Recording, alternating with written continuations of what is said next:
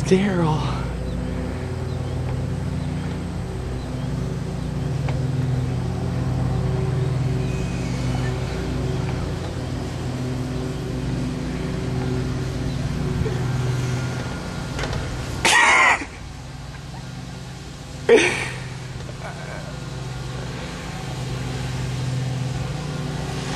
oh my gosh, he's gonna be so